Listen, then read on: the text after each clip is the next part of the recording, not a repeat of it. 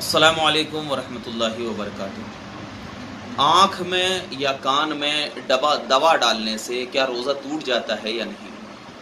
اس حوالے سے میں آپ کے سامنے چند باتیں پیش کرتا ہوں۔ دیکھیے، روزہ ٹوٹنے کے جو اسباب شریعتی اسلامیہ نے مقرر کیے ہیں، وہ یہ ہیں کہ بدن کے کسی بھی سوراخ کے ذریعے پیٹ میں اس چیز کے پہنچ جانے سے روزہ ٹوٹ جاتا ہے۔ جیسے کہ منہ سے یہ ایک سوراخ ہے ناک ایک سوراخ ہے، آنکھ ایک سوراخ ہے، کان ایک سوراخ ہے، ایسے ہی دوسری اور سوراخیں ہیں۔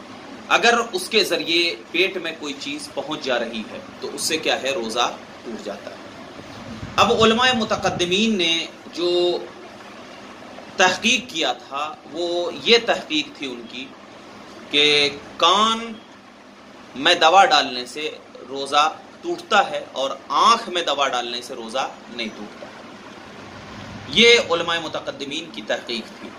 لیکن آج میڈیکل سائنس نے یہ تحقیق کی ہے کہ کان، میں جو دو سوراخ ہے دو کان کے، ان دو سوراخوں کا ڈائریکٹ پیٹ کے اندر پہنچنے میں کوئی سوراخ نہیں پائی جاتی۔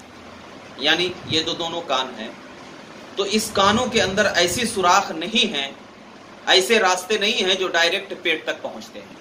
برخلاف ناک، منہ اور آنکھ کے، کہ ان تینوں میں وہ سوراخ ہے جو کہ کیا ہے پیٹ تک ڈائریکٹ پہنچتا ہے۔ یہ علماء آج کل کے میڈیکل سائنس نے تحقیق کیا ان علماء کرام پر قربان کہ ان علماء کرام نے اپنی تحقیق سے یہ کیا تو انہوں نے اپنی تحقیق کے اعتبار سے فتوا دیا کہ کان میں دوا ڈالنے سے روزہ ٹوٹ جاتا ہے اور ناک آنکھ میں دوا ڈالنے سے روزہ نہیں ٹوٹتا ہے۔ لیکن اس کے برخلاف جب میڈیکل سائنس کی ترقی ہوئی اور ان لوگوں نے زیادہ ترقی کیا تو اس کے اعتبار سے ان لوگوں نے صاف طور پر واضح کیا کہ آنکھ کے اندر وہ سوراخ ہوتی ہے جو کہ کیا ہے ڈائریکٹ پیٹ تک پہنچتی ہے۔ تو جب ان میڈیکل سائنس کی بنیاد پر آج کا فتویٰ یہی ہے علماء متاخرین کا کہ اگر کوئی شخص آنکھ میں دوا ڈالا تو اس سے کیا ہے روزہ ٹوٹ جائے گا۔